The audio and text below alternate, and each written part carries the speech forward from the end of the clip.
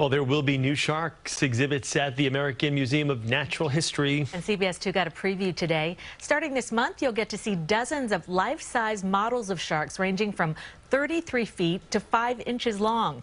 There will be fossils from diverse species of sharks along with an interactive exhibit that challenges visitors to hunt like a hammerhead. The exhibit is open to the public on December 15th. Cannot wait to see that.